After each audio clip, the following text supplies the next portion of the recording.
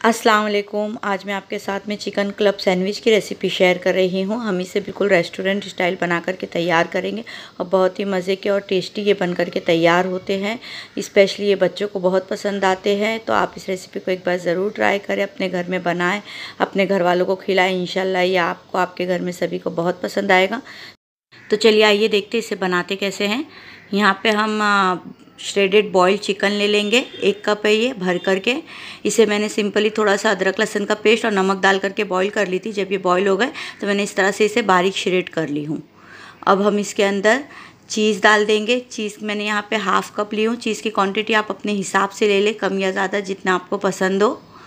इसे भी मैंने ग्रेट करके ले ली हूँ यहाँ पे, इस तरह से। और इसके अंदर ही साथ ही में one teaspoon black pepper powder डाल देंगे हम। और इसी के साथ में यहाँ पे हाफ़ कप मायोनीज़ डाल देंगे। मायोनीज़ की क्वांटिटी भी आप अपने हिसाब से ले लें। कम या ज़्यादा जितनी आपको पसंद हो, वो हिसाब से चीज़ और मायोनीज़ की क्वांटिटी ले लें आप। आप चाहे तो इसमें नमक भी ऐड कर सकते हैं। अपने टेस्ट के हिसाब से मैंने नहीं ऐड करी यहाँ पे, क्योंकि मायोनीज़ और चीज़ में ऑलरेडी नमक होता है। और मैंने यहाँ पे जब चिकन बॉईल करी थी, तब भी मैंने उसमें नमक ऐड करी थी, इसलिए मैंने यहाँ पर नमक को ऐड नहीं करी हूँ। और इसे अच्छे से मिक्स कर लेंगे। ये देखिए इस तरह से अच्छी तरह से इसे मिक्स कर लेना है हमें मतलब इस तरह से। सारी चीज़ें हमारी अच्छे से मिक्स हो जाए। ये देखिए, इस तरह से। इसे अच्छे से मिक्स करके हम इस तरह से इसे एक साइड में रख लेते हैं अभी। और यहाँ पे मैंने एक ब्रेड का स्लाइस ले ली, इस पर अभी हम बटर लगा देंगे। अच्छी तरह से हमें हर तरफ़ इसके बटर लगा देना है। इस तरह से, ये देखिए। और दूसरी तरफ़ मैंने यहाँ पे एक पैन को गर्म कर ली थी गैस पे तो जिस तरफ़ हमने बटर लगाया उसे पैन पे रख देंगे और अच्छे से सेक लेंगे मतलब और जो साइड पे भी बटर नहीं लगा है तो हम उस पर भी अच्छे से बटर लगा लेते हैं यहाँ पे, और इसे अच्छे से सेकने देंगे, अच्छी तरह से बटर लगा लेंगे सब तरफ़ से, और इसे अभी हम सेक लेंगे, इसे हमें गोल्डन कलर आ जाए उतना सेक लेना है मतलब ये अच्छी क्रिस्प हो जाए थोड़ी, हमारी ब्रेड उतना हमें दोनों तरफ़ से इसे पलटाते हुए सेक लेना है। ये देखिए, इस पर अच्छा एक गोल्डन कलर आ गया। इस तरह से हमें इसे सेक लेना है, दूसरी साइड से भी। दोनों तरफ़ से अच्छा है कि इस पर कलर आ जाए, इस तरह से ये हल्की क्रिस्प हो जाए मतलब। तो हम इसे निकाल लेंगे और इसी तरह से हम और भी ब्रेड को सेक लेते हैं यहाँ पे। ये देखिए, मैंने यहाँ पे सारे ब्रेड को यहाँ पे सेक ली हूँ।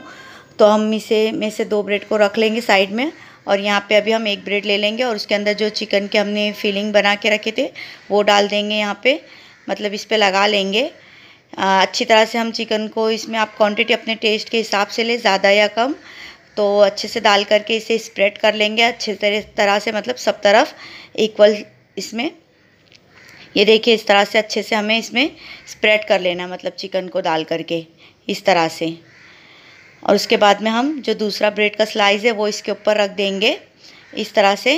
और इसके ऊपर अभी हम ग्रीन चटनी लगा लेंगे। ग्रीन चटनी को सिंपली मैंने थोड़ा सा कोतमीर पुदीना, हरी मिर्ची, लहसन, ज़ीरा और थोड़ा सा अमचूर पाउडर डाल करके पीस ली थी मिक्सर में। तो इसी तरह से आप भी ग्रीन चटनी को लगा ले, अच्छे से फैला ले और उस पर एक चीज़ स्लाइस रख दे और फिर उसके ऊपर ब्रेड का स्लाइस रख ले, लास्ट वाला। और इस तरह से हमारी ये देखिए क्लब सैंडविच बन करके रेडी हो गई है। मैं इसे अभी आपको यहाँ पे कट करके दिखाती हूँ। इस तरह से। आप चाहे तो इसमें जो आपको सलाद रखना हो मतलब टमाटर और ककड़ी या फिर प्याज वगैरह, आप वो भी रख सकते हैं। मैंने यहाँ पे कुछ भी नहीं रखी हूँ। मैंने इसे सिंपल बना करके यहाँ पे तैयार करी हूँ। इस तरह से आप अगर बच्चों को बना के देंगे तो वो खा लेते हैं, बड़े, बहुत ही शौक से। तो ये देखिए, हमारी यहाँ पे क्लब सैंडविच बन कर के तैयार है। बहुत ही मज़े की और बहुत ही टेस्टी है बन करके तैयार होती है। बड़े बच्चे सभी को इस तरह से बहुत पसंद आती है। आप भी इस रेसिपी को एक बार ज़रूर ट्राई करें, अपने घर में बनाएँ, अपने घर वालों को खिलाएँ। इन ये आपको आपके घर में सभी को बहुत पसंद आएगी। वीडियो अच्छा लगा हो तो इसे लाइक शेयर करिए। चैनल पर नए हैं तो वन टाइम सब्सक्राइब करिए। साथ ही में जो बेल आइकॉन है, उसे ऑल पे प्रेस करिए, जिससे कि आने वाली मेरी हर नई वीडियो सबसे पहले आप तक पहुँचे। चलिए, अल्लाह हाफिज़।